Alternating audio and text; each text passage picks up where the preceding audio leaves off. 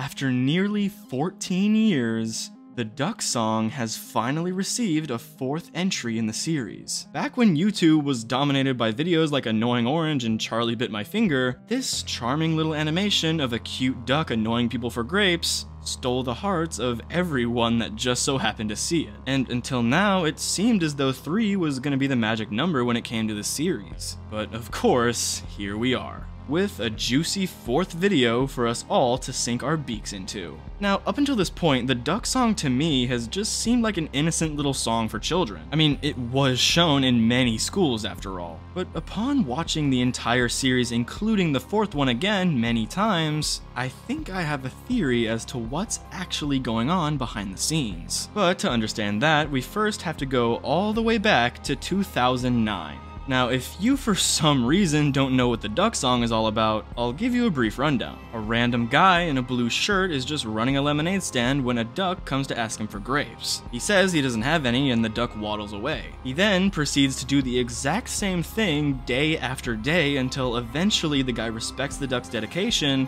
and buys him grapes. To which the duck responds, mm, No thanks. And that's where it ends. The next two videos pretty much have the same premise, with the duck asking day after day for grapes and just being a general annoyance to the people around him. Nothing too out of the ordinary for a cartoon. Even the fourth one seems normal at first glance, with it basically just rehashing what happened in the first one, albeit not word for word. But the whole thing becomes odd when we take a look at a video that isn't even uploaded by Forrest Fire 101, a video called Poopers the Magic Penguin.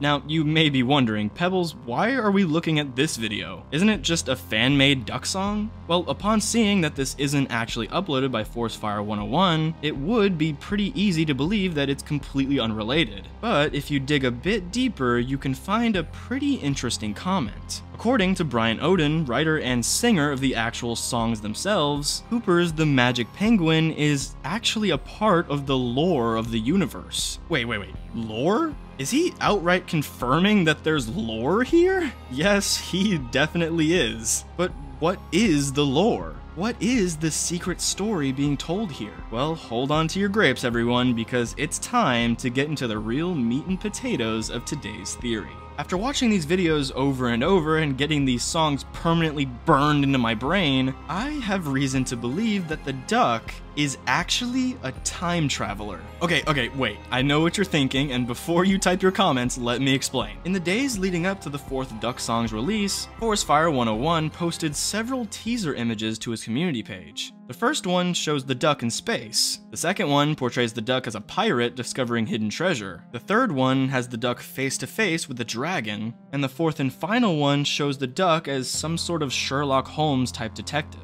Now, if you're looking at this and thinking it's just a random goofy teaser, I ask you to look again. Because if we're truly living in a universe with magic penguins and animals that can talk, who's to say dragons were never a thing in this universe as well? And if they are, then how did the duck manage to meet one? The answer? If he traveled through time. Same is the case for the pirate one, or even the detective one. Pretty much all of these scenarios can easily be explained if and only if the duck is a time traveler, or if he possesses some sort of multi-dimensional power that the other characters don't have. Even the space teaser can be explained by this theory, but not in the exact same way. I actually think that in this one, he's in the future rather than the past. Why do I say this? Well, if we're supposed to believe that this is Earth, then why is this planet here? The moon being bigger than normal could be explained by just the duck being closer to the moon, but that same explanation doesn't account for this planet. So whatever happened to cause this planet to be that close to Earth must have not happened yet, which further reinforces this theory.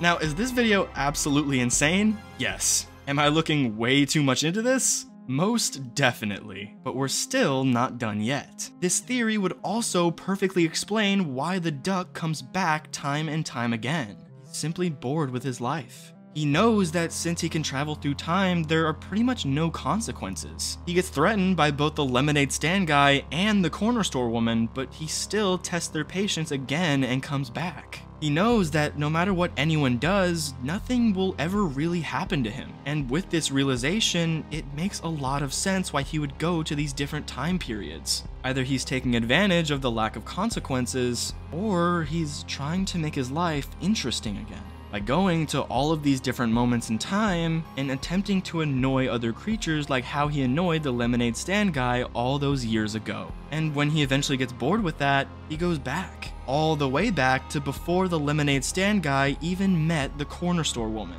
It's presumed that after the duck indirectly introduced the two, that they hit it off. I mean, we see the lemonade stand guy walk back into the corner store after the duck leaves to talk to the woman some more. Even in the Poopers the Magic Penguin song, he flat out says that he likes the corner store woman. I like the corner store woman, but I'm kinda shy. But the interesting thing about this is that I don't think this was the duck's true intention.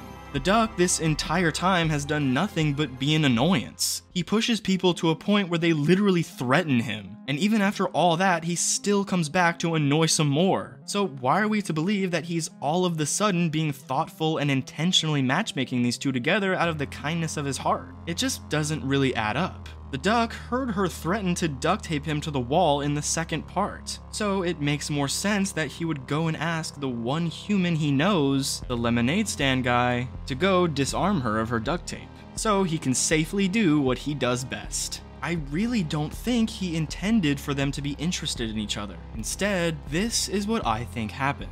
The duck, somehow one way or another, discovers time travel. He's excited and immediately starts taking advantage of it. He annoys some poor guy that's just trying to sell lemonade, then he goes and irritates the cashier at the corner store until she's had enough. And once she threatens him, he goes and asks the lemonade stand guy for help because he knows the lemonade stand guy wouldn't be suspected. The duck then asks him to borrow her duct tape so she can't use it on him. I mean, that's the very thing she threatened him with, so if she doesn't have it, he can just go annoy her some more. What he doesn't realize, however, is that the two hit it off. Once all is said and done, the lemonade stand guy still goes back into the store once again to talk to the woman. This eventually causes the lemonade guy to stop running the lemonade stand, which in turn made the duck realize his mistake. But not being absolutely heartless, he decides to let them do their thing and not interfere. He then proceeds to travel to a handful of different time periods in the hopes of maybe recapturing the fun he had annoying everyone around him, but in other ways. This presumably doesn't work in the long term, and he eventually caves and comes back to before he made the mistake of introducing the pair to each other. So he can essentially trap this poor man into an infinite loop of the duck constantly asking for grapes and bothering him over and over again, just like old times. This theory, if true, would certainly make the duck song a lot darker, with the duck essentially keeping the man prisoner for all eternity. Time is still passing for the duck. He can still remember everything that's happened, but the lemonade stand guy is unfortunately stuck in place, unknowingly separated from his true love, instead being forced to put up with this annoying duck forever. I will tell you one thing. I really don't know if this theory is true, but what I do know is that while I was watching this newest entry, I myself felt like I was transported back in time as well. But who knows? Maybe the duck really does have Alzheimer's like some of the comments say. And maybe there is no story and I'm just looking way too much into an innocent little kid song. That second one honestly seems a bit more likely. But it sure is interesting to think about. And hey, you never know, it could very well end up being right. But anyway guys, that's gonna do it for today's video. If you enjoyed it and want more from the channel, feel free to subscribe and hit the bell for more unhinged theories just like this. Alright everyone, that's gonna be it from me. I love every single one of you with all my heart. Thank you so much for watching, and I'll see you next time.